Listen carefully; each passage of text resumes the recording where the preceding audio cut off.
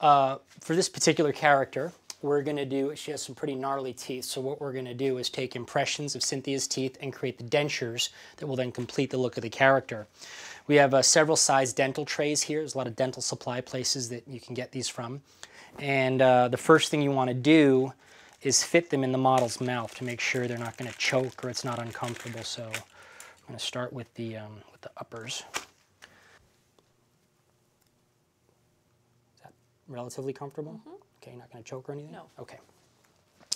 And what we're going to do is mix up some more alginate, only it's going to be a dental grade alginate. It's going to set up a little quicker, and um, this is what dentists use to take impressions of the teeth.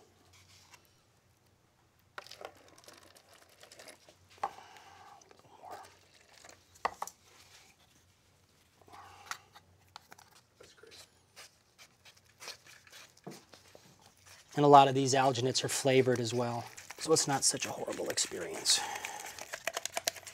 There's other materials you can take impressions with. There's various dental silicones and things. Those get a little pricey, but we're going to do this old school. The important part about uh, doing dental casts is getting all the information. You want the gum line. You want to make sure you have as much information as you can to create the dentures. So a, we do it a little different than some dentists need, and some dentists do. Uh, this is, this is a, a product that is uh, similar to the, the life casting alginate that you can add water to if it's a little thick or, uh, you know, you can, um, it, it's not like the plastic. Like when, when Cleve was mixing the hydrocal, we cannot add more water after it's already been mixed. If you've mixed it too thick, you're kind of stuck. Another thing to keep in mind when you're doing any type of dental impressions or, or things of that nature is to make sure, ask your model, do they have any type of veneers or bonding? I mean, it's always uh, important to know if there is real dental work in there and, and that may want to uh, choose your decision whether or not you actually go through with this. You want to make sure that it's, there's, there's nothing that could be affected by the impression material, a, a good note, a good precautionary note to have. This is an eyeball thing. You can do, there's like a little scooper in there. You can do scoop of alginate to water.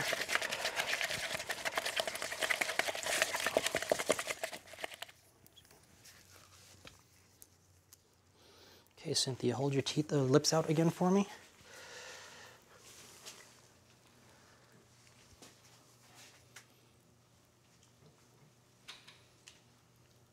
Okay, open your mouth. Okay, bite down and then pull your lip over the top. There you go.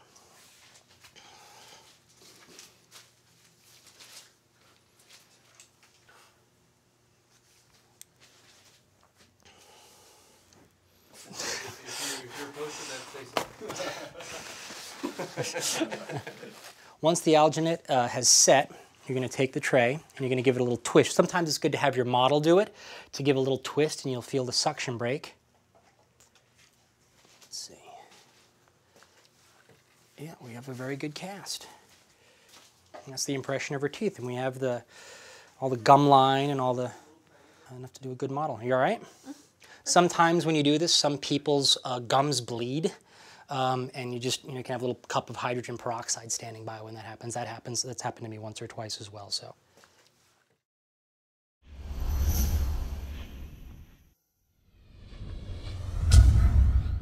We're going to pour a, a, type of dental stone. This is called Die-Keen. Uh, it's a very hard, uh, very accurate uh, plaster, essentially. And what we're going to do is mix it like we did the hydrocal, and then we're going to pour it in the negative and that'll create a positive model. See how the material's moving and how it'll uh, work its way into all the details. All right, so we're gonna start the lowers now. And even if you're doing uh, dentures just, I mean, not, it looks like we're gonna do both sets here, but even if you're doing dentures for the uppers, it's important to get both teeth. You'll typically see two trays. This one is for uppers, this one is for lowers. You want this one for the lowers to make room for the tongue. So that's a good way to, you want the roof of the mouth and then you want an area for the tongue. So that's a good thing, not uppers, lowers. So we've already fit the lowers in Cynthia's mouth. These will work good. And we're gonna start mixing the alginate. A, uh, okay, Cynthia, same deal. Wide.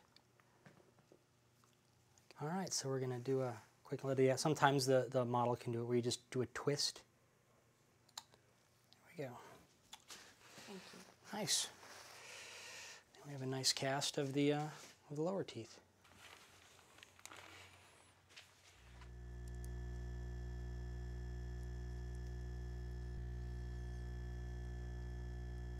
I'm taking a brush right now and I'm actually poking the, uh, the Die-Keen in, especially in the front lowers. I mean, those are very thin and you want to make sure that you, you get as much detail, you get all the detail.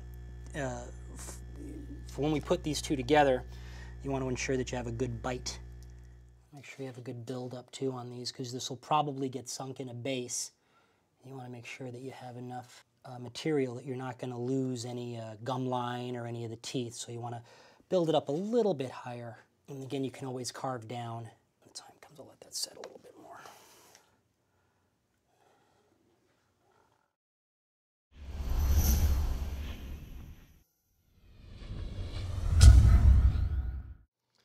And just again, just very carefully peel away.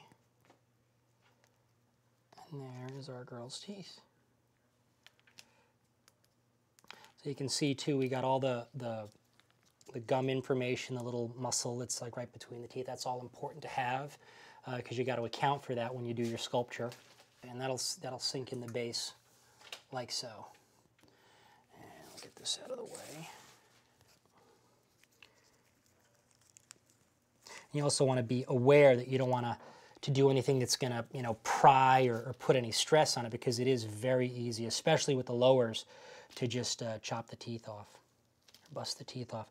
And you'll see too, like the hand cast, um, we got uh, fantastic detail. Uh, Cynthia has a permanent retainer on her lower teeth, which didn't affect the cast, but if you look, you can see we got all that information as well, which is important if we're going to make a, a dentures for her, you have to take that into account that there is a, a bridge there.